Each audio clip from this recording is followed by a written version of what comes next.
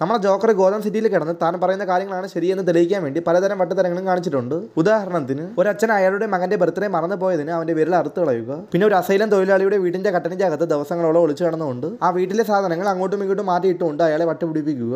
എന്നാണ് ഞാൻ ഇനി പറയാൻ പോകുന്ന സ്റ്റോറി വെച്ച് നോക്കിയാൽ ഇതൊക്കെ വെറും ചെറുത്. ഈ സ്റ്റോറി തുടങ്ങുന്നത് ജോക്കർ ഒരു ഗൊറില്ല സൂട്ടിട്ട് നിൽക്കുന്ന ഒരുത്തനെ ഒരു കൂടിന്റെ അകത്ത് പിടിച്ചിട്ടിട്ട് അയാളെ ലാഫിംഗ് ഗ്യാസ് അടിപ്പിച്ച് ചിരിപ്പിച്ച് കൊല്ലും. എന്നിട്ട് ജോക്കർ അത് ലൈവായിട്ട് ടി വിയിൽ കൂടെ ബ്രോഡ്കാസ്റ്റ് ചെയ്യും. അങ്ങനെ ജോക്കറിന്റെ ഭ്രാന്ത് പിടിച്ച ഈ ലൈവ് കണ്ടിച്ച് ടൊമ്മി എന്ന പേരുള്ള ഒരു റിപ്പോർട്ടർ അവന്റെ കൂടെ ജോലി ചെയ്യുന്ന ആളുകളോട് എടുത്ത് പറയും ഈ ജോക്കർ വെറും ഒരു സാധാരണ മനുഷ്യനാണ്. ഇവിടുത്തെ പോലീസ് ഡിപ്പാർട്ട്മെന്റ് ആണ് ഇവനെ എന്തൊരു വലിയ സംഭവമായിട്ട് ചിത്രീകരിച്ച് വെച്ചിട്ടുള്ളത്. എന്നാൽ യഥാർത്ഥത്തിൽ ഈ ജോക്കർ ഒരു ലോൺലിയും വട്ടനുമായിട്ടുള്ള ഒരുത്തനാണ്. അത് ഞാൻ നിങ്ങൾക്ക് തെളിയിച്ചു തരാം. എന്നും പറഞ്ഞ അവൻ ജോക്കറിനെ തപ്പി അവന്റെ ഒളുത്താവളത്തിലേക്ക് പോകും. അവിടെ എത്തിയതും ഈ ടൊമ്മി കണ്ടത് നമ്മളെ ജോക്കർ അവൻ കൊടുത്തൊരു ഓർഡർ അനുസരിക്കാത്ത ഒരുത്തന്റെ മുഖത്ത് ആസിഡ് ഒഴിച്ച് കൊല്ലുന്നതാണ്. അത് കണ്ടതും കട്ടന്റെ ഇടയിൽ ഒളിച്ചിരുന്ന ടൊമ്മി പെട്ടെന്ന് നെട്ടും ആ സൗണ്ട് കേട്ട് ഹാളിലേക്കും ടൊമ്മിയെ കട്ടന്റെ ഇടയിൽ നിന്നും വലിച്ച വെളിയിലോട്ട് ഇടും. എന്നാൽ ടൊമ്മിക്ക് ജീവിക്കാൻ കൊതിയുള്ളത് കൊണ്ട് പെട്ടെന്ന് ഒരു ഐഡിയ കത്തി അവൻ ജോക്കറിന്റെ അടുത്ത് പറയും അണ്ണാ ഞാൻ നിങ്ങളെ പോലത്തെ ഒരുത്തനാണ്. എനിക്ക് ഫ്രണ്ട്സോ ഫാമിലിയോ ഒന്നുമില്ല. ടോമി ഇങ്ങനെ പറഞ്ഞത് കൊണ്ട് തന്നെ അവൻ അവിടെ ജോക്കറിന്റെ കൈ കൊണ്ട് ചാവാതെ കുറച്ച് നേരം കൂടെ പിടിച്ചു നിൽക്കാൻ പറ്റും. അങ്ങനെ കുറച്ച് സമയം കഴിഞ്ഞതും അവിടെ ബാറ്റ്മാനും റോബിനും വന്ന് ജോക്കറിനെ അടിച്ച് ഡിഫീറ്റ് ആക്കി അവനെ പിടിച്ച് ജയിലിൽ ഇടും. അത് കാരണം നമ്മൾ ടോമി ജോക്കറിന്റെ അടുത്ത് നിന്നും രക്ഷപ്പെടുകയും ചെയ്യും. അങ്ങനെ ഒരു വർഷം കഴിയും. എപ്പോഴത്തെയും പോലെ തന്നെ നമ്മൾ ജോക്കർ ജയിലും ചാടും. അങ്ങനെ ഇപ്പോൾ നമ്മൾ റിപ്പോർട്ടർ ടോമി അവന്റെ റൂംമേറ്റിനെ കാണാൻ വേണ്ടി അവന്റെ അപ്പാർട്ട്മെന്റിലോട്ട് കയറുന്ന സമയത്ത് അവൻ ഒരു വൃത്തികെട്ട സ്മെല്ല് അടിക്കും. അപ്പോൾ ടോമി അവന്റെ ഫ്രണ്ടിന്റെ അടുത്ത് ചോദിക്കും എന്താടാ ഇവിടെ ഒരു നാറ്റം? പക്ഷേ സംഭവം അവന്റെ കൂട്ടുകാരനെ ആരോ എടുത്തും കൊന്നിട്ട് ഒരു പപ്പറ്റിനെ പോലെ അവന്റെ റൂമിൽ കെട്ടിയിട്ടിരിക്കുകയാണ്.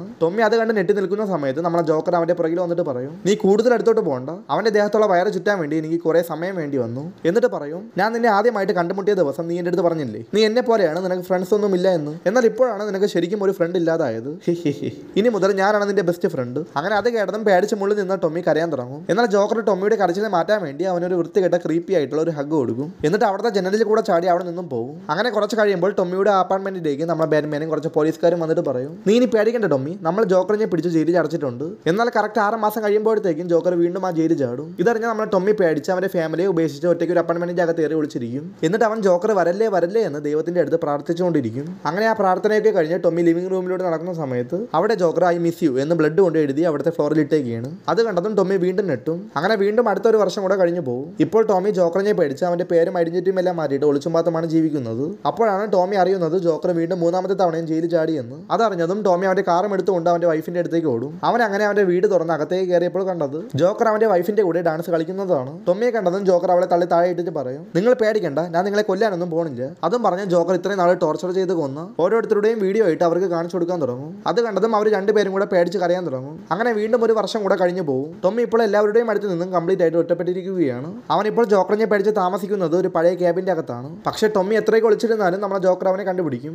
ഇപ്രാവശ്യം ജോക്കർ ചെയ്ത പണി ടൊമ്മിയെ പിടിച്ചിട്ട് ജോക്കറിന്റെ ഒരു അണ്ടർഗ്രൗണ്ട് സെല്ലറിലേക്ക് കൊണ്ടുപോകും. എന്നിട്ട് അവൻ ടൊമ്മിയുടെ അടുത്ത് പറയും ഇനി കുറച്ച് നാൾ നീ ഇവിടെ ആയിരിക്കും താമസിക്കാൻ പോകുന്നത് എന്നും പറഞ്ഞിട്ട് ജോക്കർ അവന്റെ മുറിച്ച് വരി വെച്ചിരിക്കുന്ന മുഖം ടൊമ്മിക്ക് കാണിച്ചു കൊടുക്കും. അത് കണ്ട് പേടിച്ച ടൊമ്മി അവിടെ കിടന്നൊരു തോക്ക് എടുത്ത് ജോക്കറിനെ നേരെ ചൂണ്ടിയിട്ട് പറയും. എനിക്ക് ഇനിയും നിന്നെ പേടിച്ച് ഇങ്ങനെ ജീവിക്കാൻ പറ്റൂല. ബാറ്റ്മാനെ ചെയ്യാൻ പറ്റാത്ത കാര്യം ഞാൻ ചെയ്ത് കാണിച്ചു തരാം എന്നും പറഞ്ഞ് ടൊമ്മി ജോക്കറിനെ വെടിവെക്കും. പക്ഷേ വെടിവെച്ചപ്പോഴാണ് അവന് മനസ്സിലായത് അത് ജോക്കർ തന്നെ മനഃപൂർവം അവിടെ വെച്ചിരുന്ന ഒരു വാട്ടർ കണ്ണായിരുന്നു എന്ന്. അങ്ങനെ ജോക്കർ ഇപ്പോൾ ടോമി ഒരു ഗ്യാസ് ഉപയോഗിച്ച് ബോധം കെടുത്തി ഇടും. കുറച്ച് നാൾ കഴിയുമ്പോൾ അവിടേക്ക് പോലീസുകാരും എത്തും. പോലീസിനെ കണ്ടതും നമ്മൾ ടൊമ്മി ഒരു വട്ടനെ പോലെ പറയും ഇവിടെ ജോക്കർ ഉണ്ട് അവൻ എന്നെ കൊല്ലും. നിങ്ങൾ എന്നെ രക്ഷിക്കണം പ്ലീസ്. എന്നാൽ വന്ന പോലീസുകാർ നോക്കുമ്പോൾ ജോക്കർ പോയിട്ട് ഒരു മാക്കറി പോലും ഉണ്ടായിരുന്നില്ല. അതുകൊണ്ട് അവർ വിചാരിക്കും ടൊമ്മി എന്തോ കണ്ട് പേടിച്ച് വട്ടത്തനെ വിളിച്ച് പറയുന്നതാണെന്ന്. അതുകൊണ്ട് അവരെല്ലാവരും കൂടെ ചേർന്ന് ആ പാവം പിടിച്ചവനെ ഒരു മെന്റൽ ഹോസ്പിറ്റലിൽ കൊണ്ടിടും. അങ്ങനെ അവിടെ കിടന്ന് ഈ ടൊമ്മി ഒരു മുഴുവട്ടനായിട്ട് മാറും. അങ്ങനെ ആ പ്രാന്ത ആശുപത്രിയിലെ സെല്ലിന്റെ അകത്ത് ടൊമ്മിയുടെ കൂടെ ജോക്കർ നിൽക്കുന്നതും കാണിച്ചുകൊണ്ട് ഈ കൊമിക്ക് എന്റെ ആവും.